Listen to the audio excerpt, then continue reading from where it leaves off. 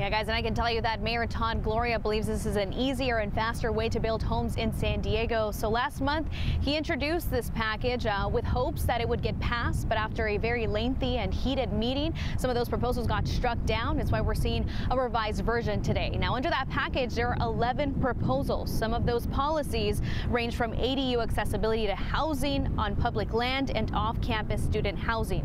The mayor says the plan allows for the construction of more homes near transit and more flexibility to build homes on public property.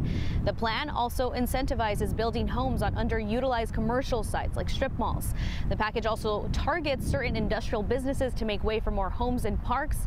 That specific policy would only apply in the promise zone in southeastern San Diego. Now, there are some critics who don't agree with the proposals. One of the most controversial is a program that allows developers to build low income housing and market rate housing in separate locations. That means that under this proposal, it would require housing to be built in either moderate or high income areas of the city to avoid concentrating only in underserved areas. Last month, several residents complained about it because they had concern that communities could be segregated based on income.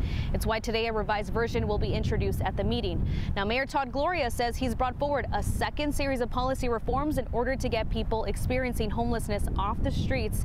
He's also hoping it can bring down rent costs. So back out here, the mayor uh, is saying, you know, because of the housing shortage in San Diego, uh, they need an all hands on deck approach. So today, that discussion is set to uh, be discussed at 2 p.m. Uh, for their 2 p.m. session. And of course, we'll have you, we'll give you guys the latest. For now, I'm Regina Urita, CBS 8.